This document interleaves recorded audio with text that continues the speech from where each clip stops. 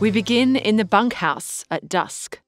George, one of the main characters, is talking to Slim, the head mule driver on the ranch. Slim has given a puppy to Lennie, George's best friend. George is grateful and thanks him. Why isn't it up to Lennie to say thanks? Well, George tends to be Lennie's voice. It's an act of friendship. Although he is a physically strong adult, Lennie experiences the world like a child due to his intellectual disability. Slim wonders how a cuckoo like Lennie and smart guy like George wound up travelling together. George feels like talking to Slim and tells him that he and Lennie both came from a town called Auburn. Lennie was brought up by his Aunt Clara, whom George knew. Once Aunt Clara died, Lennie came out working with George. He makes it sound so simple, doesn't he? Slim listens to George's story and agrees that Lennie is a nice fella. Still, George feels lonely. Meaningful conversations aren't possible with Lennie. George can't help telling Slim about what happened in Weed after Lennie touched a girl in a red dress. He just wanted to feel the softness of her dress. He didn't mean to frighten her. But she claimed Lennie raped her. What a lie! Lennie and George spent the day hiding in a ditch from the crowd that wanted to avenge the girl by killing Lennie. Phew, that was a narrow escape. While George and Slim are chatting, Lennie comes in with his new tiny puppy. Lennie can't resist the urge to pat it, even though George warns him that he'll kill it. Maybe Lennie's limitations make it impossible for him to be gentle. That's really sad for him. It's getting dark now, and two more men enter the bunkhouse. Candy, the old swamper who takes care of the bunkhouse, and Carlson, a ranch hand. Candy has his sick old dog with him, and Carlson's annoyed by how frail and stinky it is. Carlson wonders why Candy doesn't shoot it.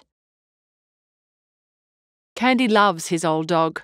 He's had it from a pup and would be lonely without it. Ignorant of Candy's connection to the dog, Carlson offers to shoot it and put it out of its misery. He suggests that Candy take one of Slim's pups as a replacement, as if the dog was a pair of old boots. Candy is powerless. He looks around to the other men for help, but no one defends him against Carlson.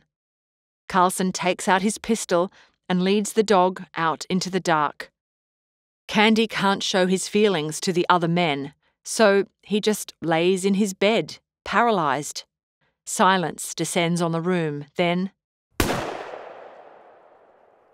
A shot rings out in the distance. It's done. Crooks comes in, always an outsider as an African American. He lets Slim know that Lennie is messing around with the pups in the barn. Now, Crooks is an intelligent man, but he doesn't feel comfortable telling Lennie off. Lennie may have a disability, but he's white. Can you see how the hierarchy works on this ranch? Slim and Crooks leave to sort out Lennie. Meanwhile, Whit's keen to talk about the wife of Curley, the ranch owner's son. According to Whit, she's got the eye going all the time on everybody. But it's not as if Whit is squeaky clean either. He spends his time off with prostitutes in town and invites George to join him. George says he might come along, but he's not keen to spend much money. He and Lennie are saving up. Lennie's now been sent back to the bunkhouse and lays on his bunk watching the men talk. He wants George to tell him about their dream of being able to live on the fat of the land again. George tells him about a place they might be able to get a place with a windmill and a shack, with chickens and fruit trees. But all Lennie cares about is being able to take care of the rabbits. All the men dream about is having a home to settle in. George talks about raising pigs, catching salmon in the river, and having a veggie garden. It's a vision that puts him in a blissful trance. Anything is possible in a dream. Candy asks if he can be in on the plan. He's got some savings. No one treats him well on the ranch because he's old. Candy would leave George and Lennie the money in his will if they allowed him to join them. George isn't sure. The dream belongs to him and Lennie. But Candy has money, and George and Lennie only have $10 between them. The dream could come true if they work together. Candy is excited. He's afraid that the men will get rid of him soon, just like they did to his dog. He lost his hand in a farm accident and won't be able to work for much longer. The plan is to work like anyone else, take their pay, and go off and buy the ranch. It's a deal.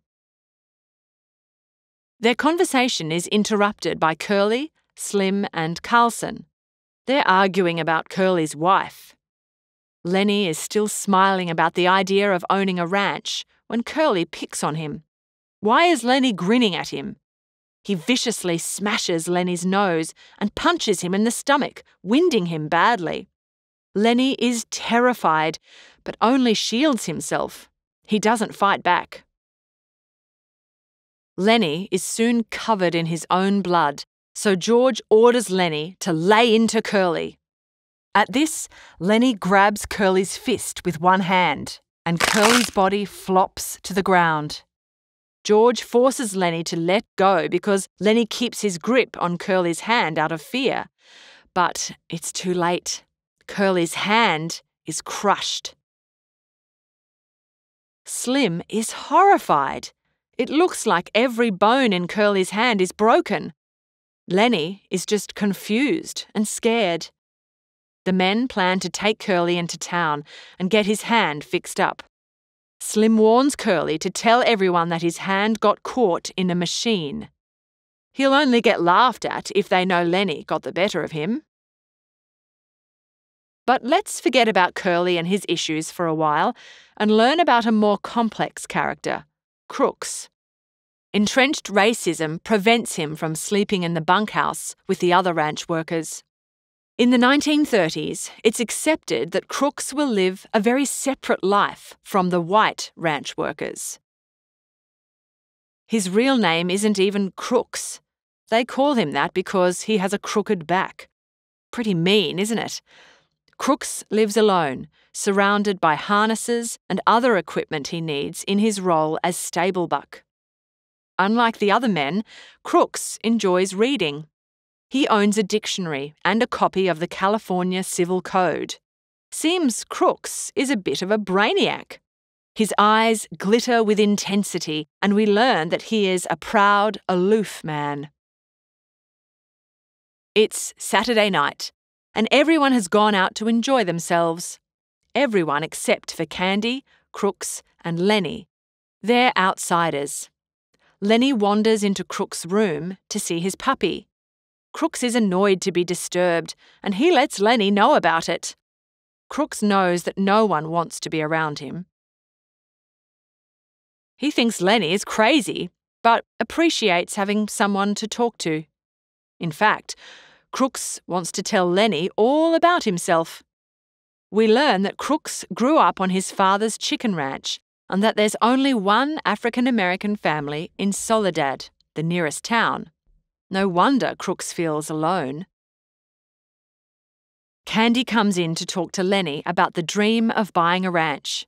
It's the first time he's ever been into Crooks's room. That's how isolated Crooks is from the other men. Crooks doesn't believe in the dream. He's too much of a cynic. He's seen too many guys with land in their head and none of them ever stick it out. But Crooks is feeling brave. He suggests that maybe he could work for them on their ranch. But their conversation is interrupted by Curley's wife. As usual, she's looking for Curley. Well, that's what she says, anyway. Lennie is fascinated by her beauty. Just like the men, Curley's wife is lonely. It's Saturday night, and she would love to be out. She had dreams and hopes of her own. Someone once told her they could put her in the movies. Candy is dismissive of Curley's wife and tells her that we ain't got nothing to say to you at all. Will Candy's words be enough to drive Curley's wife away? Or will she try other, riskier ways to seek company on the ranch?